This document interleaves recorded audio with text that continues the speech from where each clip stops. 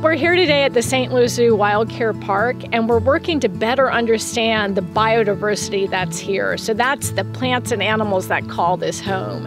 And what we've been focusing on today is the box turtles. Find these turtles and to tag them so we can look into the secrets of their lives over the coming months. Every year we do annual health assessments of our turtles. We spread out in a line and we just walk the woods and you look for the turtles and you walk and walk and walk because they hide and they're good at hiding. There's just so much error in humans looking at it. And turtle dogs, you know, their noses are better than ours. John, his dogs are trained at turtles, and we've seen them find a lot of turtles. The three toed box turtle, being our state reptile, is very much a, an iconic species for us. So, for the last nine years, we've had the St. Louis Box Turtle Project. We did know that their populations were declining, but really we knew very little about their life histories, about their home ranges, and about the infectious diseases that are threatening them.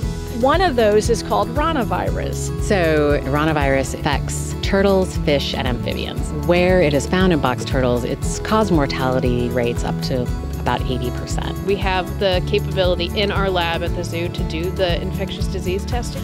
Uh, the tags are VHF telemetry, so very high frequency. They're non invasive. At the end of the fall, before they go down for brumation or hibernation, we'll take the tags off.